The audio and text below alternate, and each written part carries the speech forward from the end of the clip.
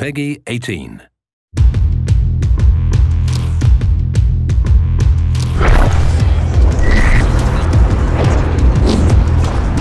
We were playing uh, Domination. I saw these guys run behind a building, and I thought if I fired through the wall, I could catch them. Um, so I fired through the wall, and then just by pure coincidence was this huge, you know, flammable tanker, which I, the bullets hit, blew up the oil tanker, and there was about four taken out in the blast, which was really, really cool.